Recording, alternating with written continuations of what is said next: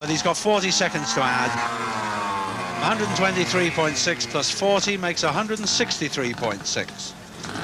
Robert Warner then, 12 years old, one of the oldest uh, competitors in the junior heats. He comes from Henley-on-Thames, just outside Henley-on-Thames in Oxfordshire.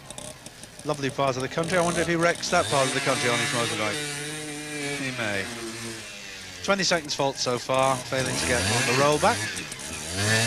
Just hanging on to it on the bone shaker, and the bunny hop catches yet another one. And another one there. He's on a Fantic 75cc machine. Is this bunny hop particularly difficult, Mick, for uh, these young riders? It I mean, is, You need yes. a fair bit of strength. You need a fair bit of strength, yes, and uh, the power also with the machine. They are very small machines.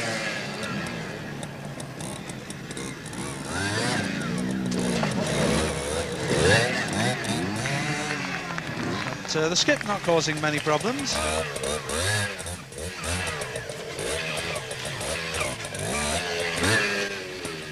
this is where Sean Hoyle came unstuck, but no problems for Robert Warner.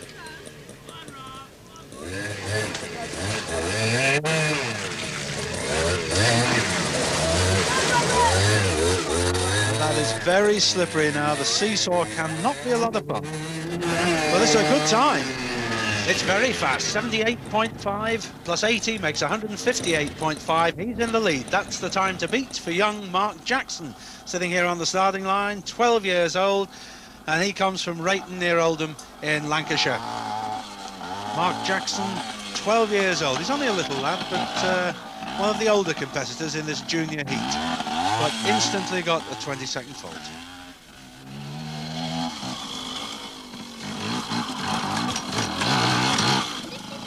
Well, we've had a lot of rain during this heat. It has stopped now, but the ground is wetter and wetter.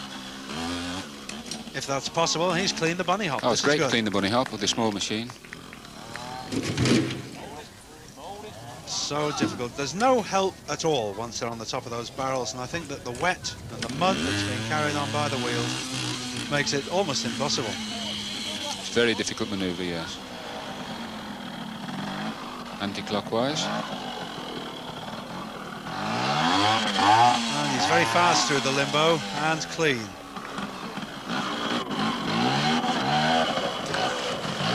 Well, that should clean the wheels a bit, Nick. Yes, it will, and it'll help him down this next run. This is not a bad time, and he's got 40 seconds of fault only. So he could well go in the lead with this ride, provided he doesn't make a mess of this section. I mustn't say that. The number of times uh, these lads have had difficulty. It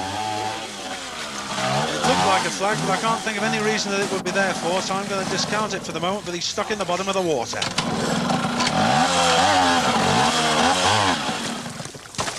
Oh, and he's over Oh, again. no. Oh, this is a disaster for him. You can hear him. This is the effort he's putting into that. Well, this is really unfortunate for him. That's muddy, it's nasty, it's cold, and he must be tired now. And he's away on the mud. Well, I'm going to count it at the moment. 40 seconds to add to his time of 121.4 makes 161.4, which would put him in second place. And in fact, there was an extra 20 seconds for the trouble with that log. I'm not quite sure what caused it, but that makes it 181.4 for Mark Jackson. So he'll be out of it. Wayne Braybrook is next on the starting line. 12 years old, comes from Keighley in West Yorkshire. And the time to beat for him still that 158.5. Quite a slow time. You'd think it should be easily beaten, but all these youngsters having difficulty, particularly with that hazard. Well, it makes a change to have a different make of machine in the competition. Here we have an Italian Italjet, 100cc. And watching this lad in practice, he was very good. Just dropped the back wheel onto the top of the bunny hop, but it stayed up, so he's clean there. Just couldn't hold it on the gun barrel. It's debatable, isn't it, Nick, whether they should uh, attack that a little faster. They get through possibly better that way.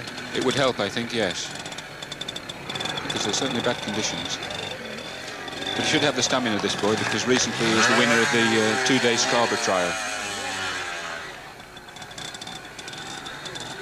He's only been riding for three years, so he's a relative newcomer to uh, this kind of sport. And you've got lads of 10 who've been riding for seven years. It's uh, a little frightening.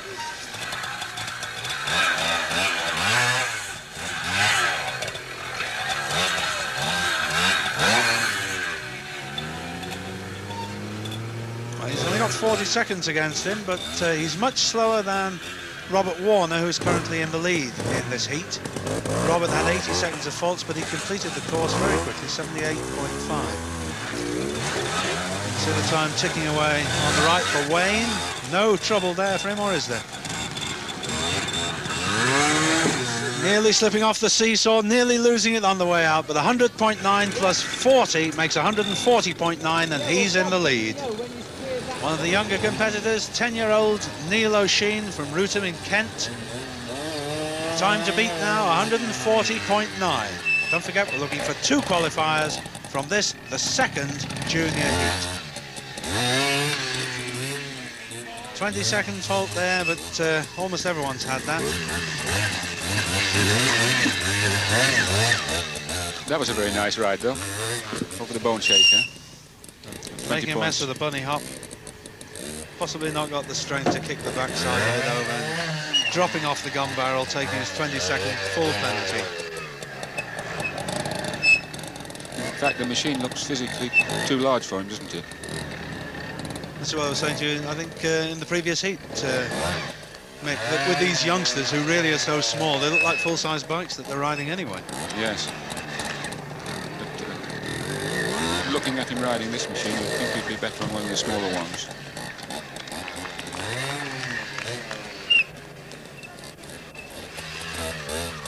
He disappears down into the wooded area to hop over the log fan. It's a good time, he's going pretty well. 60 seconds to add to this.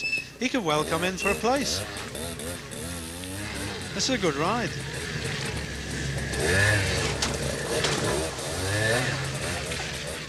He's been riding for three years. That means he started when he was seven. Now, is he going to miss this? No, he just gets away with it. It's not bad at all. 90.4, that's not bad. Plus 60 makes 150.4. He's in second place.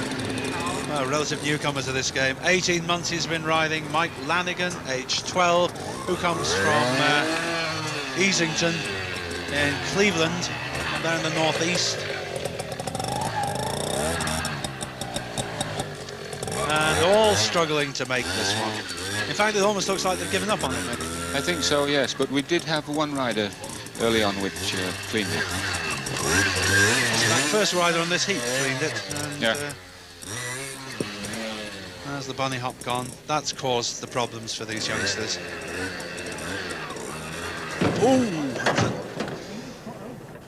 nasty fall there. You can see the protection afforded to the motor underneath there as it fell. Needs it when they're throwing them around on these sort of things and the skips. But he's a strong boy. Well, he'll have to go a bit now. He really will have to attack the course.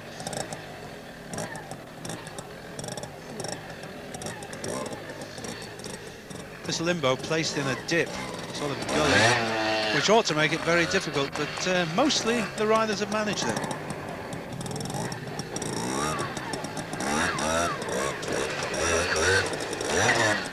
Well through the skip, that's as well ridden as we've seen it done. 60 seconds to add to this elapsed time. Well, he's going to be pushing it to get in. The last one to go in this, the second junior heat. We're looking for two qualifiers. And the time he's got to beat is 140.9. Or rather 150.4 will get him a place in the final. 60 to add to that, he can't do it. He can't do it, he's out of it. It's quite a good ride from Mike Lanigan there. 108.1 plus 60 makes 168.1. So the two qualifiers, Neil O'Sheen and Wayne Braybrook. Well, there you go. Next week, another heat, the third and final of the heats. So why don't you join us again on Junior Kickstart? Bye-bye.